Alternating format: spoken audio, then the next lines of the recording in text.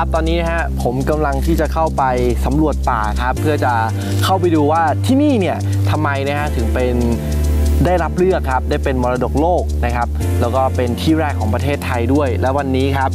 ผมมาพร้อมกับผู้ที่จะพาเราเข้าไปในป่าแห่งนี้นะครับ นั่นก็คือพี่หนึ่งนี่เองนะฮะสวัสดีครับครับโอ้โหพี่หนึ่งแนะนำตัวหน่อยครับทำหน้าที่อะไรที่นี่ครับครับก็คือผมชื่อศักดิ์กริมชาจารย์นะครับเป็นเจ้าหน้าที่งานประชาสัมพันธ์นะครับประจำเขตรักษาพันธุ์สัตว์ป่าห้วยแข้งครับอืม พี่หนึ่งทำงานที่นี่มากี่ปีแล้วครับ ก็เกือบ 20 ปีแล้วครับ โอ้โห แสดงว่าเชี่ยวชาญดีแน่นอนกับการที่จะพาเราไปสำรวจป่าในวันนี้ครับนะครับ แล้วก็นี่ครับที่อยู่ด้านหลังของเราครับ นี่คืออะไรครับไอ้ตรงนี้เราเรียกว่าวิญญาณป่านะครับ เป็นครับเป็นจุดที่เจ้าหน้าที่ คือเป็นอนุสาวรีย์ของเจ้าหน้าที่ที่ถูกยิงตายระหว่างปฏิบัติหน้าที่อืมนะครับ ก็จะมีทั้งหมด 4 หลักครับ3เหตุการณ์ครับนะครับสองหลักเนี้ย เหมือนกันก็คือเป็นเหตุการณ์เดียวกัน ถูกยิงตายครับพร้อมๆกันที่เดียวกันที่เดียวกันนะครับ ส่วคนรับที่ถูกดักยิงถูกรอบยิงด้วยจริง ๆ ยิงด้วยอ p g อะครับ แต่ RPG ไม่แตกก็เลยครับเอาปืนสั้นยิงถล่มก็เสียชีวิตนะครับ ส่วนอีกอันนึงอยู่ป้อมยามนะครับ ก็คือเป็นเจ้าหน้าที่ที่ป้อมยามนะครับครับก็คือหมดเวลาเข้าละก็อืมเข้ามาก็จะไม่ให้เข้าตอนนี้เขาก็จะคือเขาก็จะเข้าให้เข้าให้ได้ได้ครับครับก็ชักปืนออกมายิงอืม แสดงว่านักท่องเที่ยวก่อนที่จะเดินเข้าไปในป่าเนี่ยก็ต้องมาที่จุดนี้ครับเพื่อทำการลำลึกถึงนะครับ เพื่อสักการะดวงวิญญาณของครับผู้ที่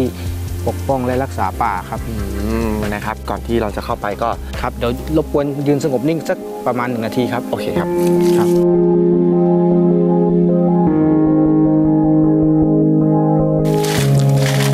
ครับนี่ก็คือทางเดินศึกษาธรรมชาติเขาห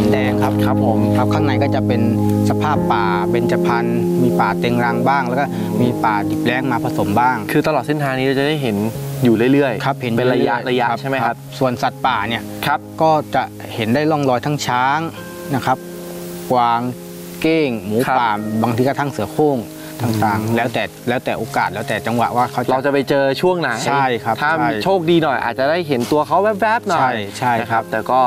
เดี๋ยวอาจจะได้เห็นในร่องรอยของตัวเขาไป นี่ใช่คือครับจุดสตาร์ทจุดแรกที่เราจะเดินเข้าแล้วนะฮะครับไปกันเลยดีกว่า ไปเลยครับพี่หนึ่ง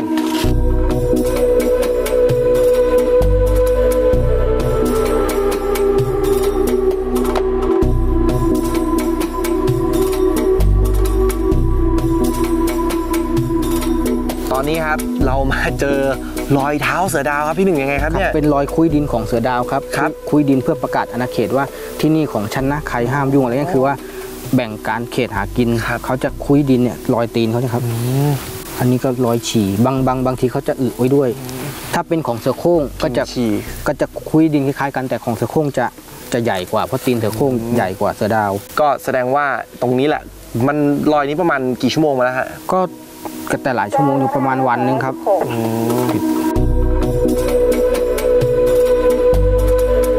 เอาละครับตรงนี้เห็นว่าเป็นจุดสุดท้ายแล้ว เมื่อกี้นี้เราก็เดินทางครับ ไปดูร่องรอยต่างๆ เห็นเป็นแบบแต่ร่องรอยอะพี่ยังไม่เห็นตัวสัตว์ตัวเป็นๆเลย ผมมาที่ห้วยขาแข้งในวันนี้ผมมีสิทธิ์ที่จะเห็นสัตว์ตัวเป็นๆไหม ก็ไม่แน่ครับ แต่จุดเนี้ยที่เราจะไปกันเนี่ยปกติวัวแดงก็จะลงมาเป็นประจวัวแดงำครับจะมีนกยูงวัวแดง พวกหมูป่าพวกอะไรต่างๆ แต่วันเนี้ยอาจจะเจอวัวแดงครับหรือจะเจอนกยูงด้วยอะไรต่างๆ เดี๋ยวเราเข้าไปดูกัน โอ้ยังไม่รู้ว่าจะเจออะไร แต่ได้ครับเจอแน่ครับๆสัญญาแล้วนะพี่ครับไปะพาไปเลยครับพี่หนึ่งครับตามมาเลยครับมาเลยต้องเงียบๆนะใช่ไหม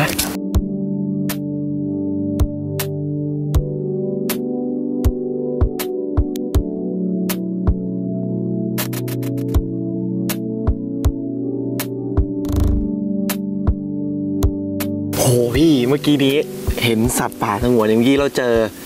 วัวแดงวัวแดงครับ ตัวใหญ่มากพี่ใช่ครับแล้วต้องเดินแบบมันทำไมต้องเงียบขนาดนี้อะฮะคือถ้าถ้าเราเสียงดังเนี่ยเขาจะไวต่อการได้ยิน เขาจะสงสัยเห็นไหมครับ ว่าสังเกตว่าเขาจะหันมามองเราบ่อยครับ แต่ที่เขายังไม่หนีเพราะกลิ่นเราอาจจะไม่ได้ไปทางนั้นเพราะอยู่เหนือลมใช่นะครับแล้วก็มีนกยูงด้วยใช่ครับปกติแล้วจะมีสัตว์อะไรที่มากกว่านี้บ้างก็จะเห็นมีก็จะมีช้างก็ลงมาครับ ครับนานๆทีก็จะมีเสือดาว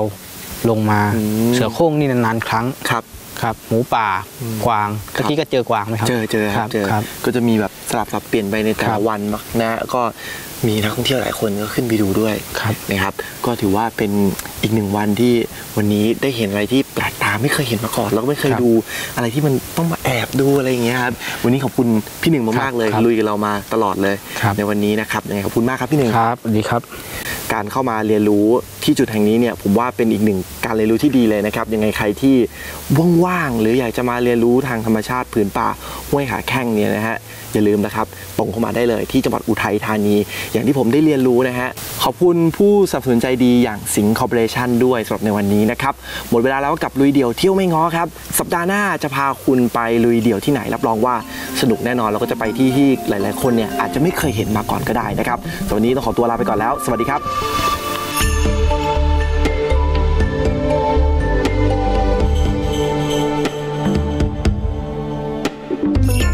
นับสนุนการเดินทางโดย